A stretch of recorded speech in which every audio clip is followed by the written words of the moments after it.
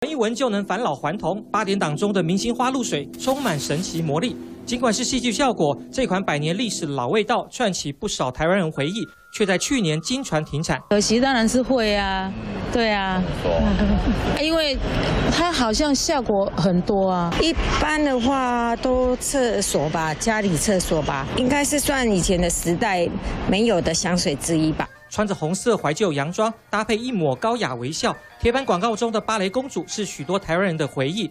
明星花露水是由名医周邦俊在上海创立。一九四九年，周邦俊女儿把配方带到台湾，成立明星化工。百年老味道却在二零一八年因为机器老旧，还有香料供货不足，停产断货。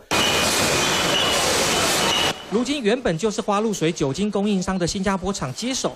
特地挑在耶诞节复工，最快明年初重现江湖。新的这个买主呢，他接他接受了不裁撤任何员工的条件之下，他重新复工。因为这一上一次的停工事件呢，又再度的引吸引了这个市场的关注，也就是消费者的关注。那我认为说，他这次复出之后呢，应该会重振他未来的声呃当年的声势。不只是香水可除臭，因为含有酒精成分，还能止痒消毒。一度因为 SARS 疫情爆发，让花露水热销。就算电蚊香老厂牌后来推出外形味道雷同的新款花露水，依旧取代不了经典老味道。三立新闻江一红、李文台报道。